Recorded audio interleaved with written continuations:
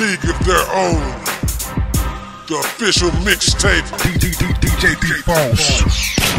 You know, it comes a time when you can't define what league some cats are in. That's because they're in a league of their own.